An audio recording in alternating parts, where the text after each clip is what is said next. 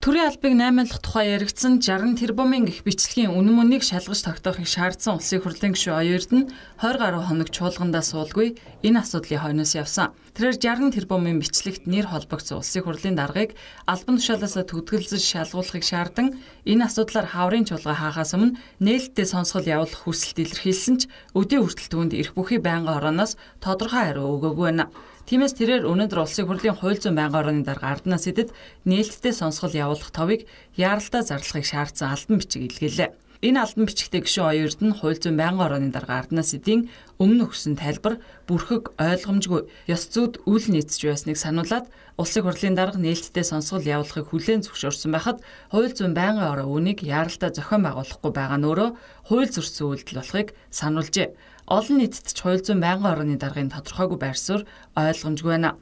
Улсын хурлын тухай хууль болон нийтийн сонсголын хуулинд улсын хурлын гишүүн нууцад хамааруулснаас бусад асуудлаар нээлттэй сонсгол явуулах эрх нь байсаар байтал цааргалахын учир юу вэ? Үүнийг хууль зүйн байнгын орооны даргын улсын хурлын чуулган дээр өгсөн тайлбараас хамтдаа сонсъё. Доктор ингээд 19 гишүүн энэ асуудлаар дахиад хандлаа. Одоо ерөнхийлөгчд нь болохоор болохгүйгээ хэлсэн. 19 гишүүнд нь болно гэж хэлэхэд бас хэцүү. Өнөөдөр мөрдөж байгаа хуулиар тухайн байгууллагын үйл ажиллагаа дарга цэргийг үнэлэх гэсэн ч юм уу нэг тийм 2 3 хан асуудлаар нээлттэй сонсгол хяналтын сонсгол явуулж байгаа. Тэр одоо энэ байдлыг ер нь яаж гарах уу гэдэг энэ үгэлэхэд хүнд байдалд орцсон байх шүү. Энэ хариултаас харуул хууль зүйн байнгын орны дарга ерөнхийлөгчийг гомдохгүй тулд 60 тэрбумын асуудлаар нээлттэй сонсгол явуулах товыг зарлахгүй байна гэж ойлгохтороо. Гэвч Монгол улсын хууль тогтоох дээд байгууллагын хууль зүйн байнгын хороо ийм ноцтой асуудал дээр ийм хууль зүйн бус тайлбар өгч болох уу? Хяналтын сонсгол гэдэг тийм ээ энэ зүйл бол тухайн хэргийн одоо жишээлбэл бүх одоо нууцын материалтай холбогдохгүй. А зүгээр олон нийтэд тайлбар хийх талаасаа харагдаж байгаа тийм ээ. Тэгэхээр энийг л ер нь одоо жишээлбэл эргэлзээг тайлах гэдэг агуулгаар энэ нийтийн сонсголын тухай гэдэг хууль өөрөө батлагдсан. Дэлхийн бусад улс орнуудад байдаг. Яг энэ агуулгаар бичсэн Арднаас эд гишүүн одоо бас чуулганы хуралдаан дээр хуулийг одоо бас өөрөөр тайлбарлаж илээ л дээ. А би бол олон улсын а бас Монголын хамгийн шилдэг хуулийн фермүүдтэй ажиллаж байгаа. Энийг оюурд нь өөрөө бичээ яваад байгаа юм биш. Тийм учраас нэг ийм байдлаар ингээд одоо хууль зүйн байнгын хороо маань ч юм уу төрийн байгуулалтын байнгын хороо маань ч юм уу юм аргацааж явхаа болоо.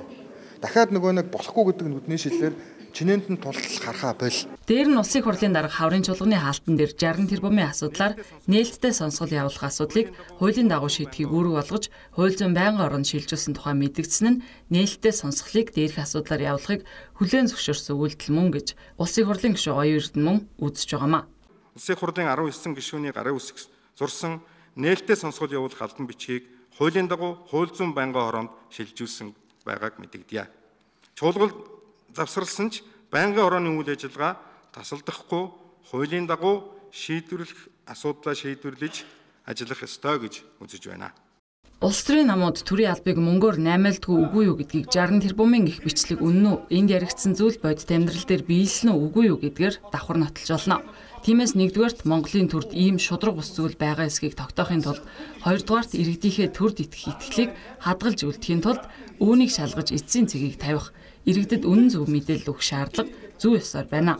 Харин ийм боломжийг хууль зүйн байнгын ороо яагаад олохгүй байгаа нь өөрөө ойлгомжгүй асуудал болж байна. Чи энийг л шүү дээ одоо яг тийм юм гараад байгаа байхгүй 12 оны сонгуульд бид хэдэн төгрөг өгсөн тэр мөнгө хаашаа орсон юм бэ